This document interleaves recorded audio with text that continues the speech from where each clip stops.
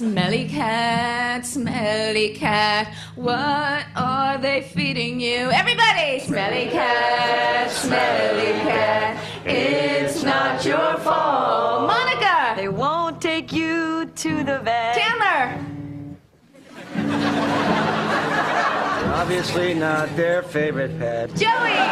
May not be a bed of roses. Rachel! You're not friend to those with noses. Uh, Ross, those are the only lines we have, sorry. Okay. Back to the chorus, everybody. Smelly cat, smelly cat, what are they feeding you? Smelly cat, smelly cat, it's not your fault. A smelly cat!